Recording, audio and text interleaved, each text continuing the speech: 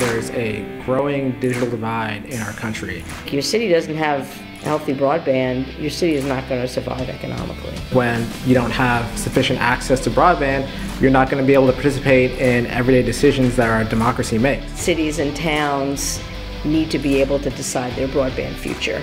And it should be decided for them by incumbent broadband providers. We can't solve our biggest problems in America without broadband. My parents really shaped my perspectives uh, when it comes to broadband access and affordability.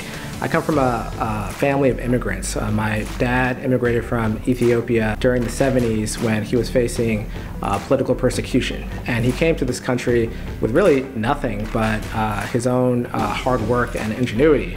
And he raised a family. And that really showed me that there's a lot of inequities in this country and broadband access is just one of them. Access to broadband service is critical in the 21st century.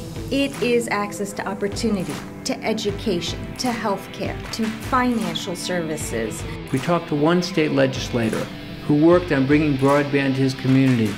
He said, broadband may not save this community, but not having broadband would kill it. Climate change, agriculture, the economy, the list goes on and on.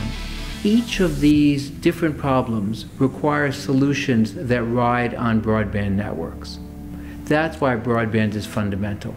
Learning what has been done, what can be done, that's the most empowering source of knowledge for broadband going forward. States matter when it comes to broadband. States matter when it comes to getting folks online. They can serve as leaders and models for national leaders and for local leaders as well.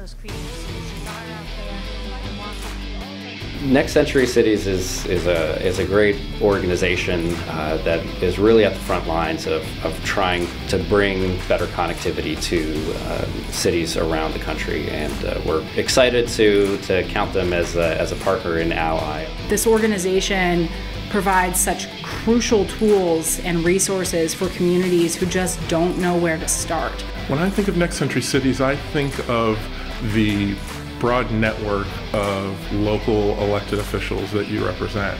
Uh, that they're an important voice as leaders in their community, leaders who uh, understand that federal policy has an impact on the local level. The reason NCC plays such an important role in this debate on broadband access is that regardless of where the communities are at, NCC is standing up. Whether it be a indigenous community, whether it be rural communities, Midwestern states, that's where NCC is doing their best work and standing up for those communities and making sure that everyone has access, regardless of where they are. When I think of next century cities, I think of cities connecting citizens, all the people in their communities, so that the communities will be stronger.